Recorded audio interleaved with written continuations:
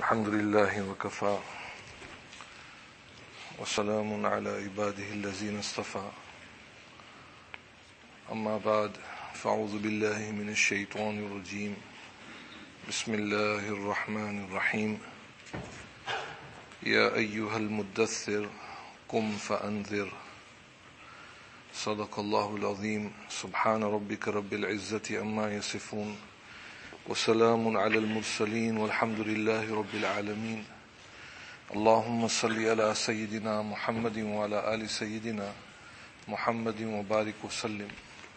اللهم صل على سيدنا محمد وعلى آل سيدنا محمد وبارك وسلم. اللهم صل على سيدنا محمد وعلى آل سيدنا محمد وبارك وسلم. Honorable brothers in Islam, mothers and sisters listening at home.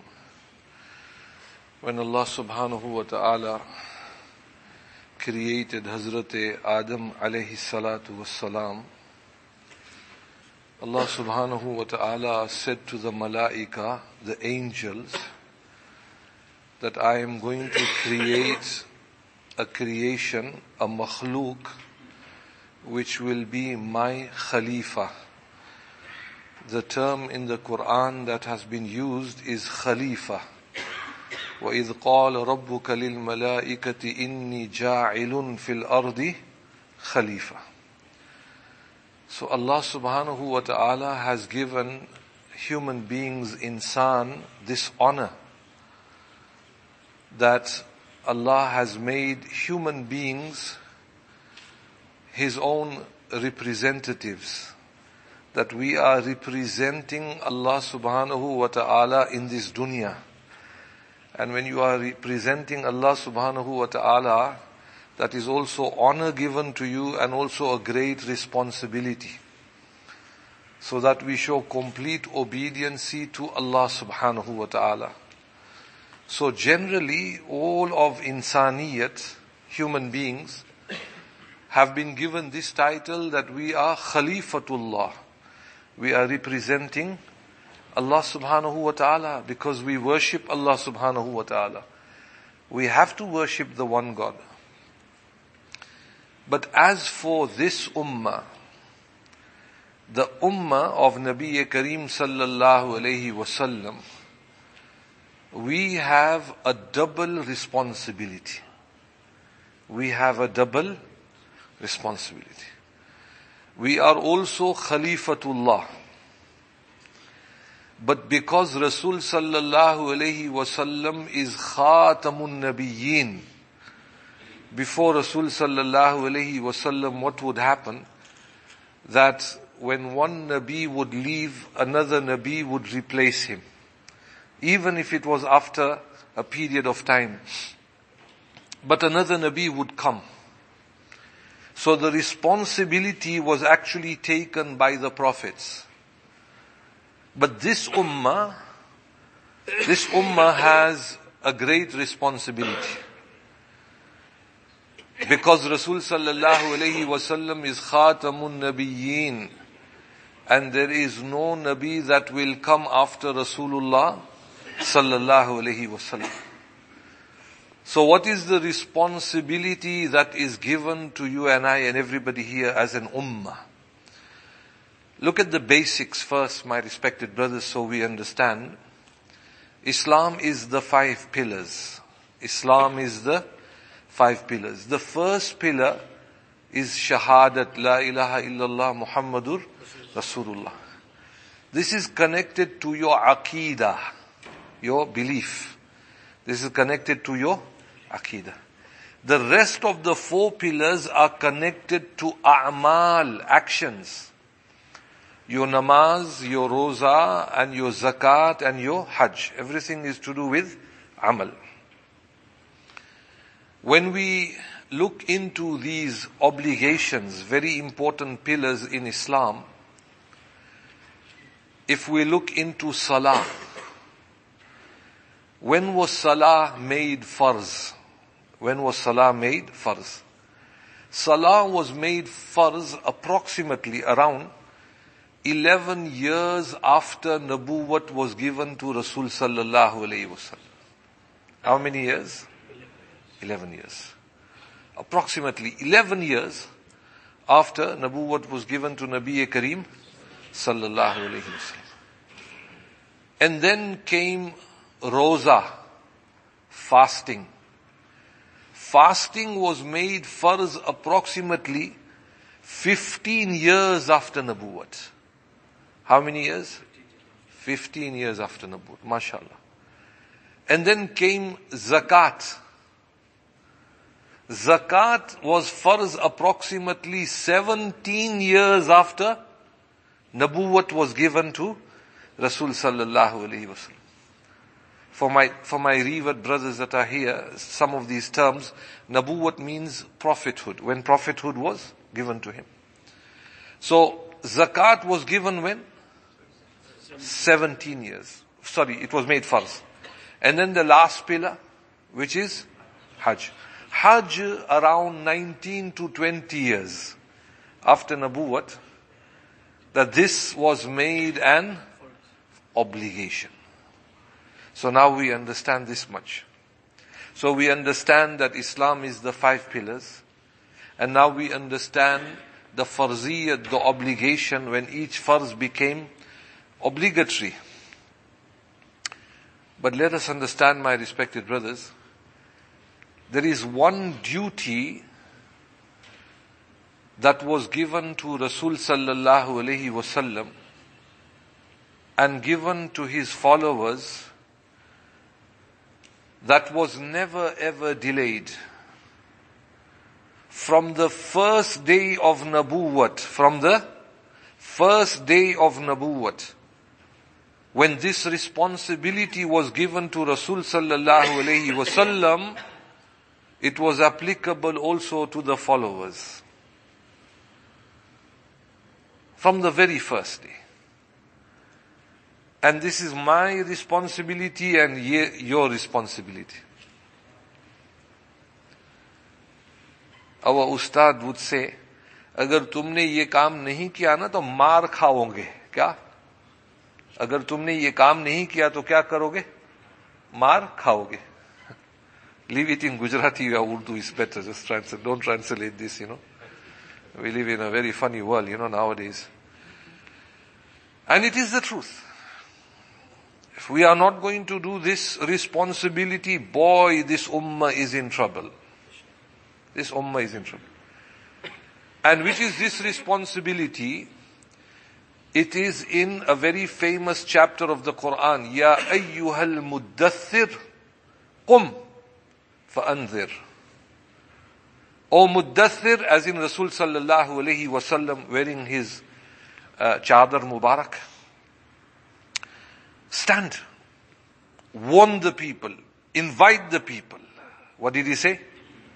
This invitation, da'wat, ad-da'i ilallah. The Quran says, O Muhammad, we have sent you as who? Wada'iyan ilallah. You are a da'i. Wada'iyan ilallah. Bi'idhnihi wa sirajan munira. This responsibility of da'wat, inviting humanity towards Allah, those who are not the Khalifa and who are supposed to obey Allah and who are not, it is the responsibility that you go to them and you talk to them and bring them. Whether they accept, whether they don't accept, leave that. But you do your works, your, your work, the syllabus that is given to you, you have to do and your ummah has to do. Imagine namaz was farz with delay. Zakat with delay.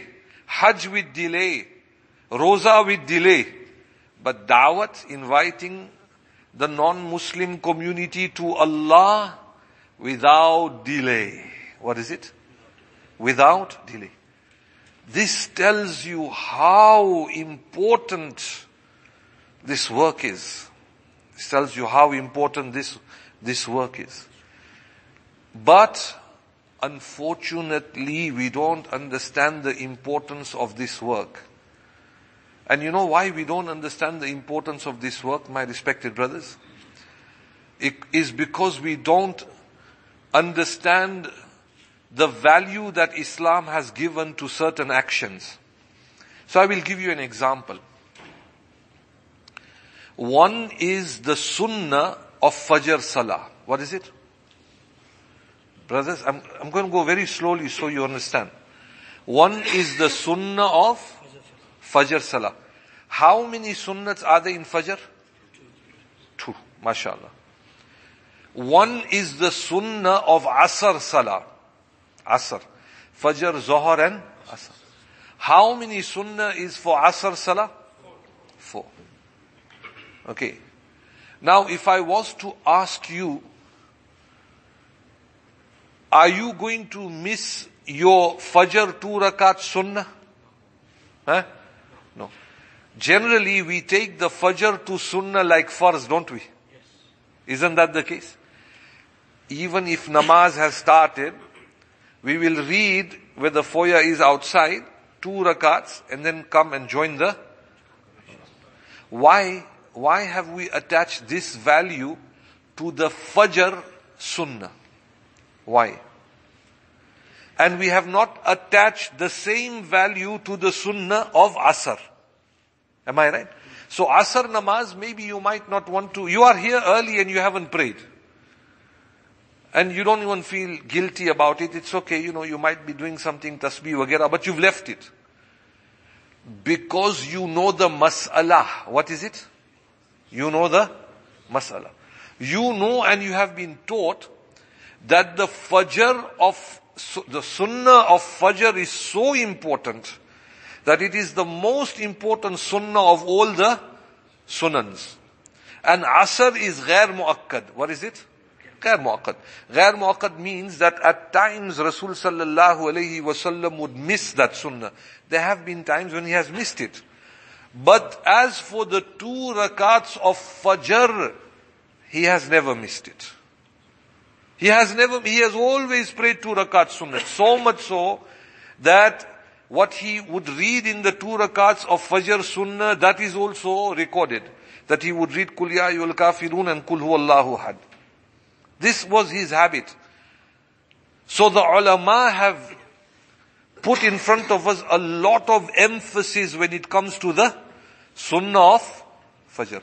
Why? Because in his entire life he was doing this. What was he doing? Doing this. Now imagine my respected brothers, if we value this Fajr two rakat sunnat so much, why? Because, why? Because this was the, the practice of Rasul sallallahu alayhi wasallam. He would always read it.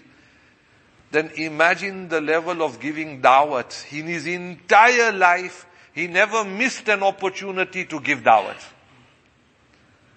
He never missed an opportunity to give dawat. So why is it that in our hearts, the importance of inviting the non-Muslims to Islam is not there. Why? Why do we take this lightly? Why do we take the Fajr Sunnah to be very important, but this Amal to be very lightly, when from day one the Quran says, Kum fa'anzir, no stopping for you. In fact, the Quran says, فَإِذَا فَرَغْتَ فَانْصَبْ There is not even a second of time that is given to you, O Muhammad sallallahu alayhi wasallam. Whenever you find yourself free, importantly do your work. This fun sub, go and talk to people. Talk to them, invite them. Now this was the mansab, the responsibility that Allah has given you and I, but we have forgotten it. Who has taken this out from this ummah? Who? Shaitan. Who bhai? अरे भाई थके हुए हो आज थके हुए शैतान हूं shaitan shaitan works he knows he's a master he knows how to work he has made people busy in everything he knows this we should not do so for an example you have your school the headmaster is there a new teacher comes along and the headmaster tells this teacher that look you know what uh, in your class you've got 20 students here and the 20 students, this is the syllabus you teach. What is it? This is the syllabus you will. teach. The teacher said, fine. So you've got about seven months to teach this syllabus and complete this book. Okay. Now the headmaster is doing his work thinking that the teacher is doing his job. But what is the teacher doing? The teacher is teaching the children how to drive a car. For an example. Or he is teaching them something else. And he's saying to the students, you know what, no, no, driving a car is also very important in your lifetime. So you must know the laws of the roads and this you have to do and this you have to do. So basically he was teaching them everything but the syllabus. Now at the end of the year, the headmaster comes and now, you know, there's a test, exams, hoping that the children will have a good mark because we expect you have taught them the syllabus. And then the children say that, you know, we have not even touched the book. Now, what would you call that teacher? A waste of time, isn't it? So the syllabus that Allah has given to this ummah, not to Maulana, not to Hafizab or Qarisab, no, no, no. To every single person of this ummah, this is a syllabus given to us. Every woman, every child, everybody, everyone, 100%, this is our syllabus. If you are not going to be doing this syllabus, then get ready.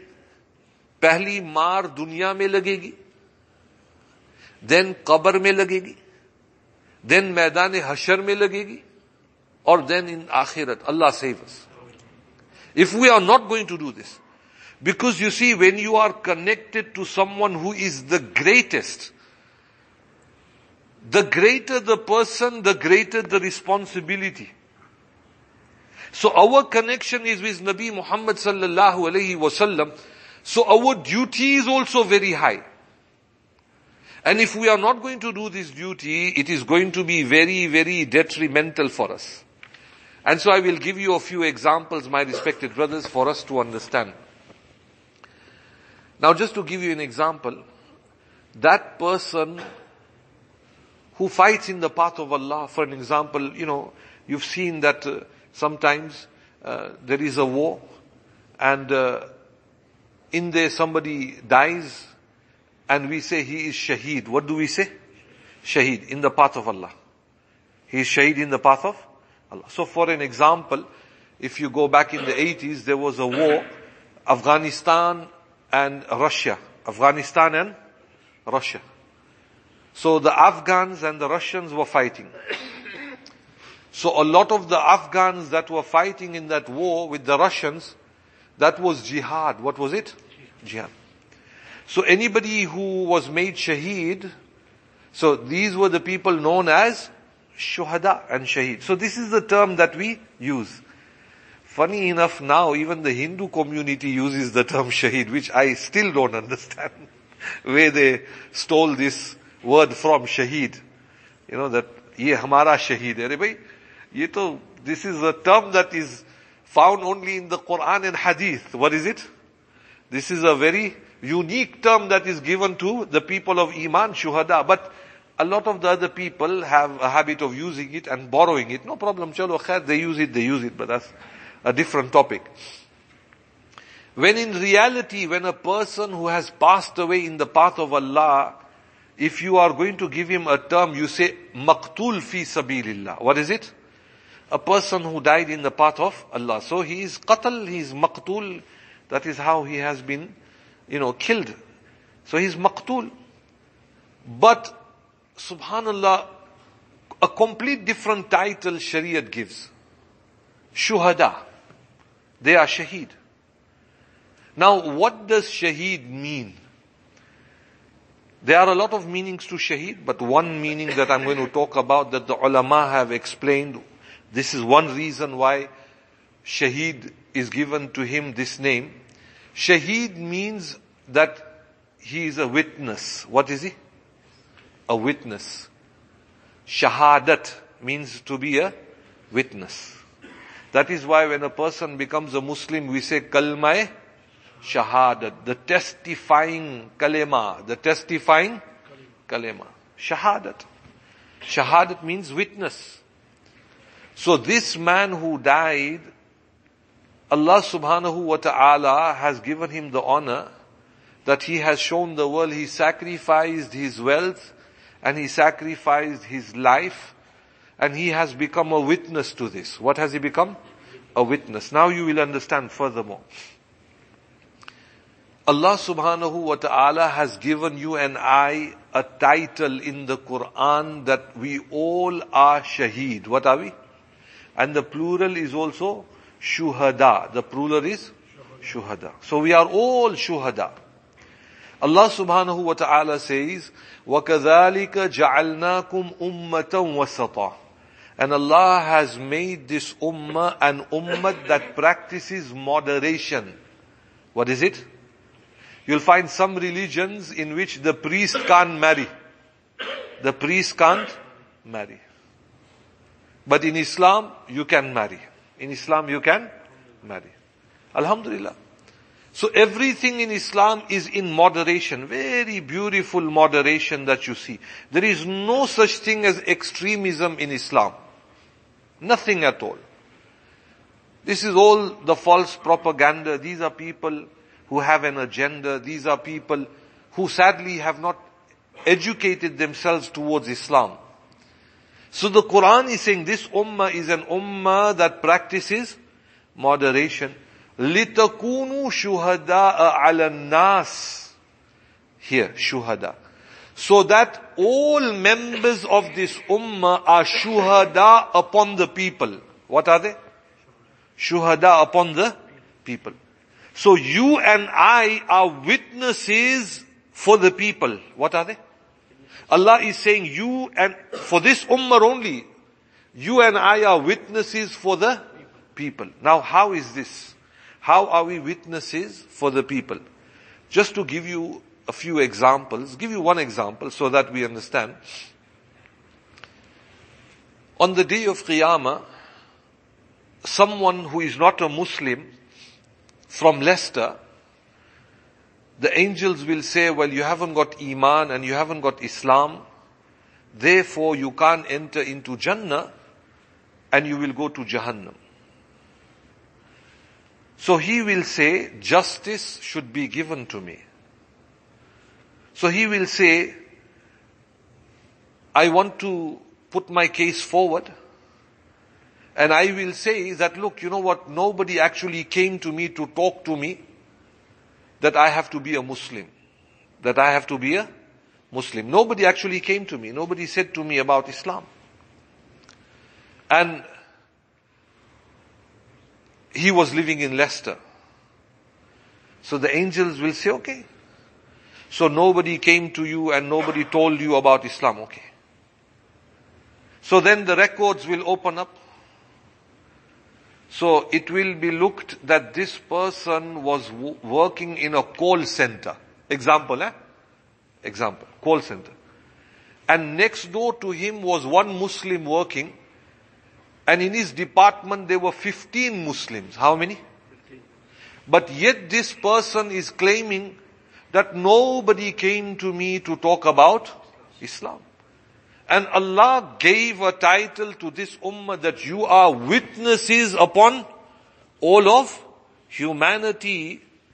So you've been working at a call center for 20 years and you have had a person next door to you who was a Muslim and 10 more guys that were Muslims but none of them spoke to you about Islam. Allah subhanahu wa ta'ala will say stop this man. We want to hear his case. Let us see that if this man is speaking the truth. So you are saying, Suleiman, Abdullah, Yusuf, and uh, Aisha, none of them spoke to you about Islam. And he'll say, no, nobody spoke to me. We were speaking about Liverpool, Leicester, money, Brexit, TV programs, music, dancing, parties, new clothes, very sale, who is going out with who. We were talking like that only. But nobody talked to me about Allah and His Rasul or the Quran. Nobody. So the angels will quickly look into that immediately. it will be noted that yes, despite the fact that there were five to ten Muslims in that office, none of them came to this young man to talk to him about Islam. Then those five to ten people will be uplifted in the court of Allah and they will be judged. What will they be done? They will be judged. ये नानी के हलवे नहीं है मेरे अजीजों you know, you people might think, what is this Maulana? You're talking about this all the time. The problem is we don't study the Quran. We don't know the Quran. That's the problem. We don't open the Quran. We don't know what is Islam. And so, how can you just allow one person to go to Jahannam when Islam is so accessible? How come nobody was talking to this chap, this person here? Nobody spoke to him about Islam. Even if a man came to him for one minute and said to him, my brother, you know what? You want to come to my mosque? Have you heard of Islam? Do you know the Quran? Are you tired? Are you depressed? Are you suffering? What about another? You know, subhanallah, nowadays they say that, you know, they are spreading promiscuity. What are they spreading? So they say a man and a woman when they get married, so this type of relationship is one type of living. What is it? There is an alternative way of living too. Abid knows the alternative way. Subhanallah. Look at the words, the narrative they use. So fantastic. Alternative way. Alternative way. Just like you will find that if you speak about Israel, they don't have to prove anything. All they say, anti-Semitism. One word, bas. And that, that person now has to come out from this hole of anti-Semitism. Allah give a long life to Mahathir, the leader of Malaysia. What is he? The leader of Malaysia. And we need great leaders. MashaAllah. Allah give him a long life. Very intelligent man. So we are not saying for one minute that we are against this race of Judaism and the Jews. No, no, we respect the Jewish community. And in fact, I even said in my bayan that when I landed at um, Tel Aviv, in my Juma bayan, I said, none of them, no one gave us any taklif. And we were expecting, oh, you know what, it will be very difficult, but no. In a very professional, very nicely we were treated. Very nicely. So we are not against any community or any group of people. We are only against zulm. What is it? Zulm. Zulm, oppression. Be it with Muslim community, be it with the Hindu community, be it with the Christian community, be it with the Sikh community, be it with the animals of this world. Oppression is not jais. A person needs to speak when something is wrong. That is what Islam teaches us. We are not against a group of, we haven't got an agenda, right? We are they, we are well-wishers. We are the children of one man, that is Adam alayhi salatu wasalam. We are all related, interconnected people. So Allah subhanahu wa ta'ala will then see and find out that did anyone speak to him? If anyone did speak to him and made, made an effort, then he will be saved. His skin will be saved. But if nobody made an effort, then Allah subhanahu wa ta'ala save us. That person Whatever happens will happen, but even that person who's got iman, he will be in trouble. Why? Because Allah subhanahu wa ta'ala said, you are an ummati of Muhammad sallallahu alayhi wasallam. There is no Nabi to come after him. And I made you an ummat and that you are a shuhada. What are you? Shuhada. You are a witness. So that on the day of Qiyamah, Everybody will say, yes, we are witnesses to each other. They all came and spoke to us about Allah and His Rasul. They all came and they spoke to us about Allah and His Rasul sallallahu alayhi. So this duty, my respected brothers, is something that is very, very important. But five minutes speaking to him. Now, if he, if he says to you, you know what, can you mind your own business? I'm tired. You know what? I'm not going to have this. I'm going to complain about this. This is against my work ethics or whatever. Then you stop. What is it? You stop. You don't have to. Islam does not say kill yourself. No, no, no. Even for one minute by you've done your duty. What is it? You have to do your duty, bus. You do your duty. That is your duty. And in reality, my respected brothers, Allah is so merciful that Allah wants more and more people to enter Jannah. And as we come towards the end of time, the imtihan, the test becomes more difficult.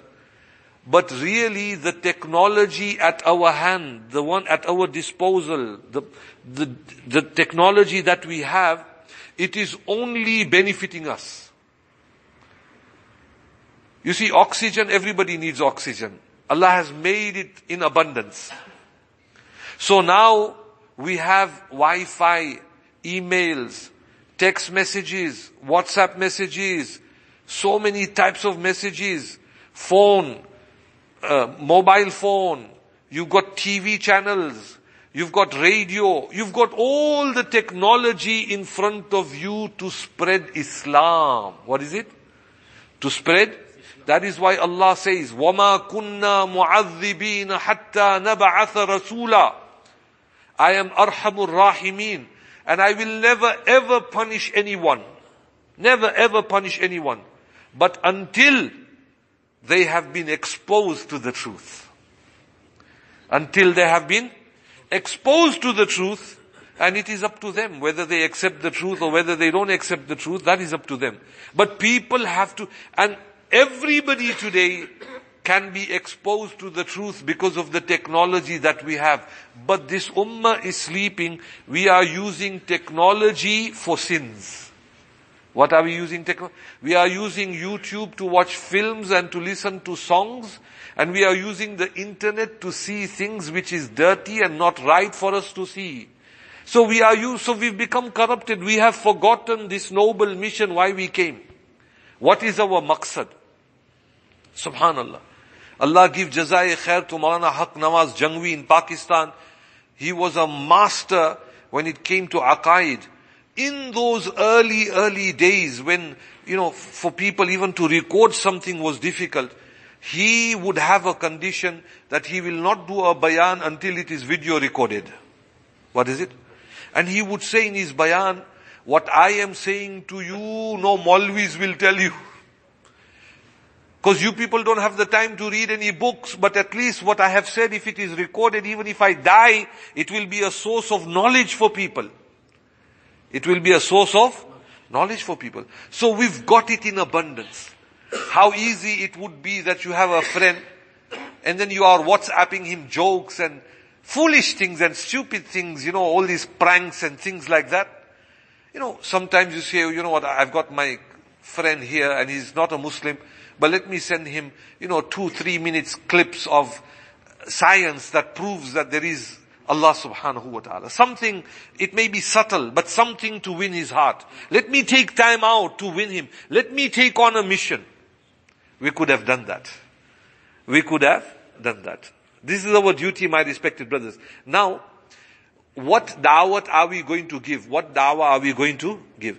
The dawah we give is we are not inviting them, or oh, come to Masjid Umar only. No, no. Our da'wat and invitation is that they should accept our deen. What should they accept? They should accept the deen of Islam.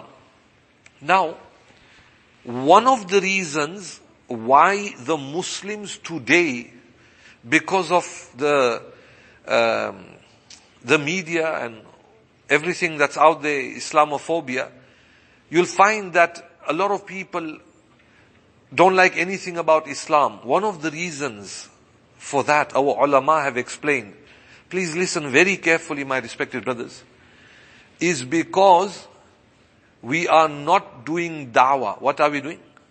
We are not doing the works of dawah, inviting the non-Muslims. Let me give you one classic example. The more a person gives dawah, the more the non-Muslims like you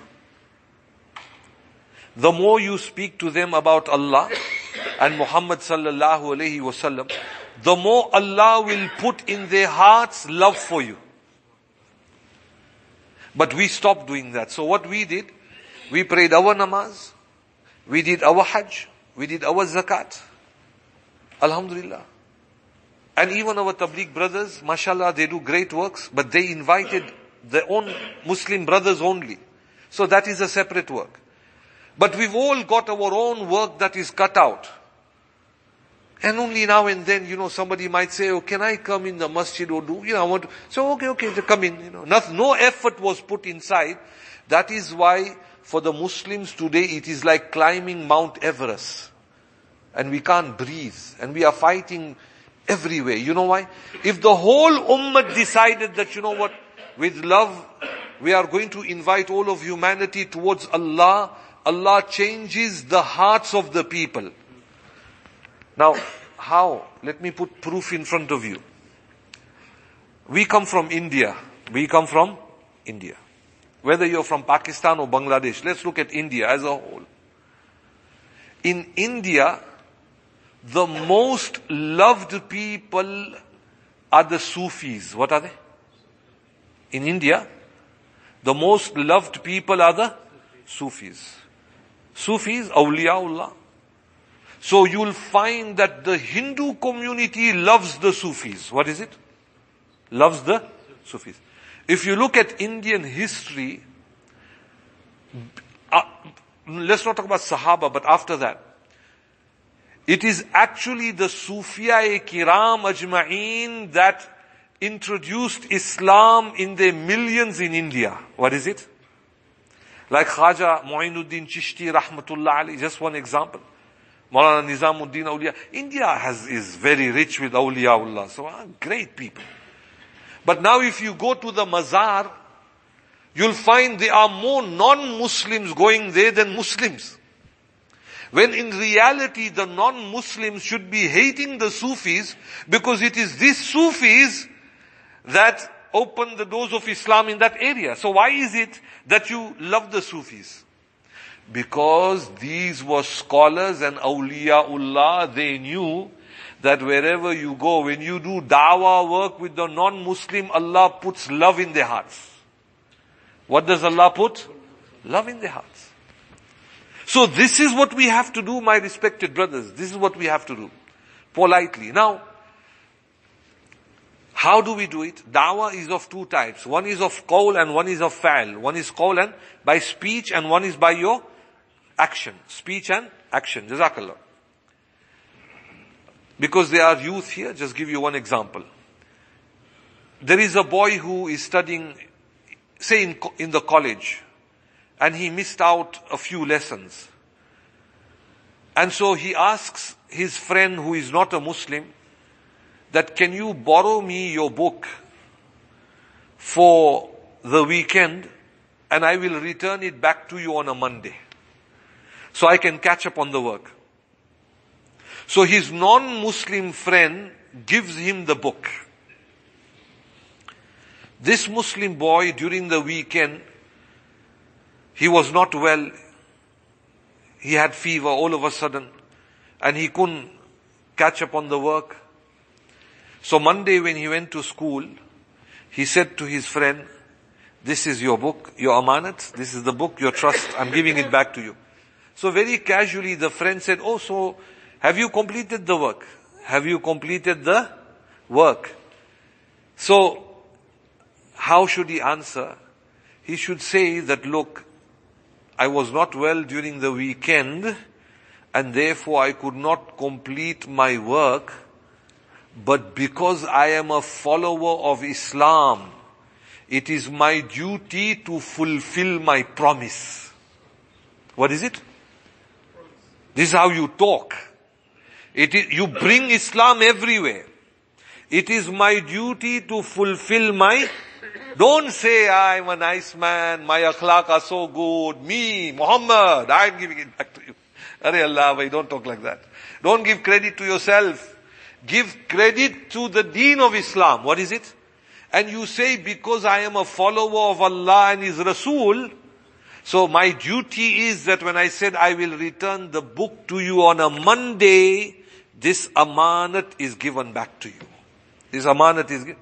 This boy will think, wow, what commitment. He might not say anything to you, but he'll go back at home and, and he'll talk to his mother and father. Mom, you know, I've got this man, you know, this young boy, brown skinned Muslims, you talk about that the Muslims are bad, this and that. but you know, I've got a classmate, a lovely chap, lovely, my good friend. And look at him, he gave me my book back on time and all that. It makes an effect. What is it? Another example. Say you are studying in the college and in the class there are five to six Muslim students, boys and girls. Your character should be so high and your character starts from respecting the teacher. What is it? Respecting the teacher. So when Muslims are studying in the college, university or second, or junior school or secondary school, wherever, so we should be respecting the teacher so much that the teacher should never say, what are you doing? Why you didn't do this? Get out of the class, stand up, do this, do that, or whatever. I don't think they do all that now. And it should be open to the professors and the teachers that you know what? From the whole school, the best students are Muslim students. Why? The respect they show to the teachers. And it should be open to them and you say, this respect we give you is because what is taught to us in Islam. This is how we should be, my respected brothers and elders. Now, you are a businessman, a tajir. You know, the first thing, the problem with our Muslims today is we are failures in making promises. What is it? I'll see you Tuesday. I'll call you, don't worry. And you see him after one month. Oh, मैं तो भूल ही गया lousy people lousy Allah Akbar. This is the, this is the, the problem with the Muslim community.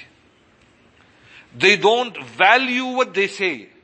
So if you are a businessman and you have given time to somebody, you have given time to somebody. One way of showing dawat is timekeeping. What is it? Timekeeping. If you are working for a boss and you clock in at work at nine o'clock, you are there at five to nine. That is amanat. What is it? That is dawat. So your boss who is not a Muslim will think, oh, oh man, I tell you what, whatever the Muslims, they don't do khianat. They work properly. They do everything properly. The businesses of Muslim, when you buy something from a Muslim, the garment is free from defect. If there's any issues, they will return the money back to you. They will not cheat you. They will not deceive you. They will not, you know, steal from you, rip you off and say, you know, take a lot of money from you. This should be the slogan. This should be the atmosphere, the environment collectively around the world that no, no, no. The best people to do business with is Muslims. This is dawat, my respected brothers. This is dawat. This is how you are going to invite people. Timekeeping is something that is also very, very important. The definition of akhlaq by Maulana um, Abul Hassan Nadwi. He said the minimum level is that you take away discomfort from a person. That is akhlaq. And the highest level of akhlaq is that you put that person in complete ease and comfort, be it a Muslim or a non-Muslim. So much so, he said, even if that is not a human being and an animal to take it out from any kind of discomfort. So these are the things, my respected brothers, we have to do. This is how we give dawat. Inshallah karenge.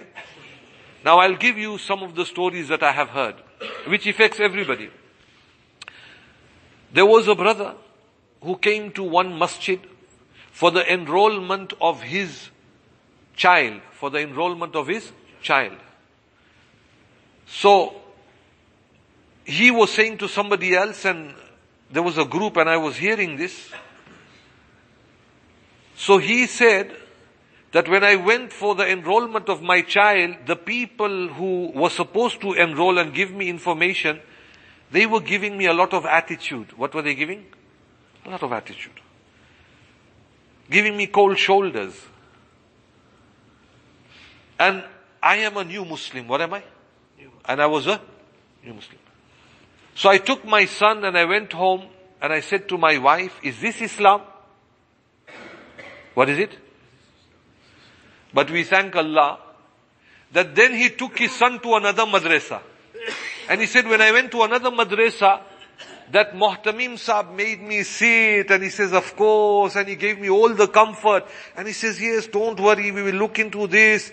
And my son is praying. And luckily that other Muhtamim was so good that now I forget.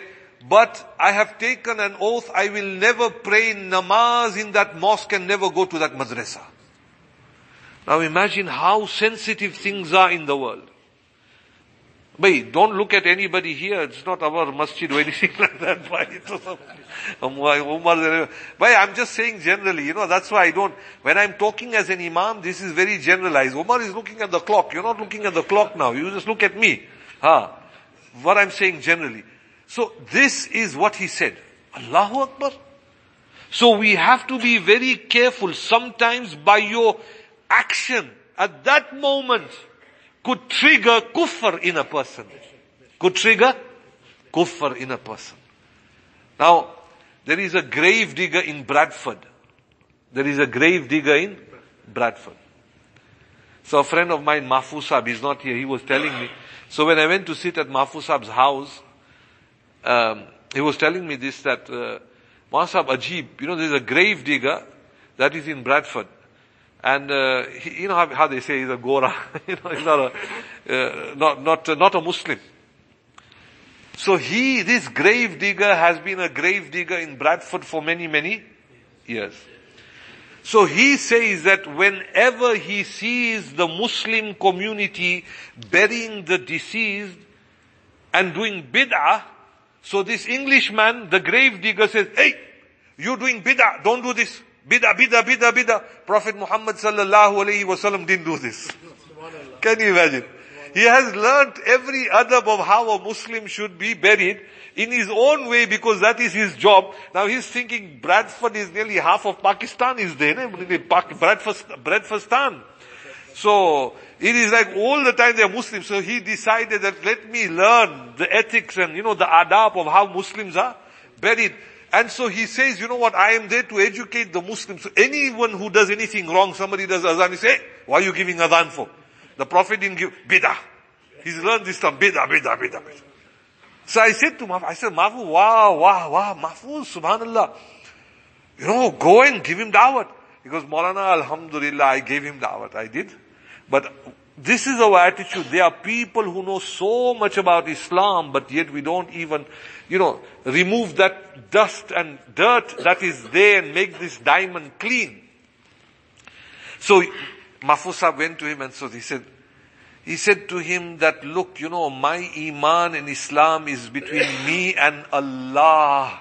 How do you know that I haven't got iman? What did he say? How do you know that I haven't got Iman. Who are you to judge? How do you know? So we pray Allah gives him Iman.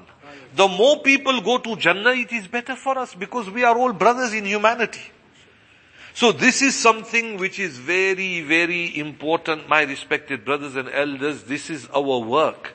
So the ladies listening at home, you are in college, you are working in an environment of men working wherever, wherever you are.